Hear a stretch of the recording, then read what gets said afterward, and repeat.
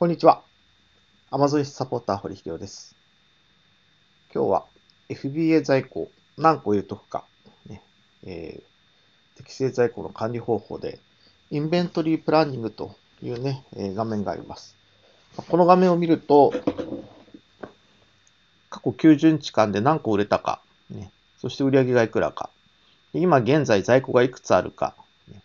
で、えー在庫いくつ送ってあるか、それから、えー在庫の年齢、ね、入れたばかりの在庫があるのか、ね、もう長期在庫になりそうなのがあるのか、なってるのがあるのか、まあ、それらのことがわかります。で、こちらの方にね、リコメンデーションと、なんかした方がいいですよというのがあれば、えー出ています。で、ある程度やってればね、えーだんだん正確な指示があります。初期の頃はね、もうこれ全然当てにならないんですけど、まあそうですね、えー月取引がもう、えー50件超えて、まあ、半年ぐらいやってるという場合はね、えこの画面見ると、まあ、在庫管理もしやすいですし、えー何か、補充忘れてるとか、あるいは長期在庫になるのが、なりそうなのがあるというのが分かりますんでね、えーまめにチェックしてください。また見方とかこれどうしましょうというのがあればね、ご相談いただければお答えします。でこのインベントリープランニング出てくるね、画面の解説ですけど、このリストックっていうのが補充しなさいと、補充しましょうということですね。え14個補充しましょうと。ね。え2月の9日までに、え2月の9日までっていうかね、今日ですね、え2月の9日で補充しましょうというふうに出てます。これは2月の12日。まあこれ日付はね、別にあの、この日にやらなくてもいいんですけど、まあ、え10個とかね、え14個。これ見るとね、えー20、90日で20個売れてて、今3個あるから、まあ、残り、えー90日でね、あと14個は売れるでしょうというようなことでね、えー指示が出てます。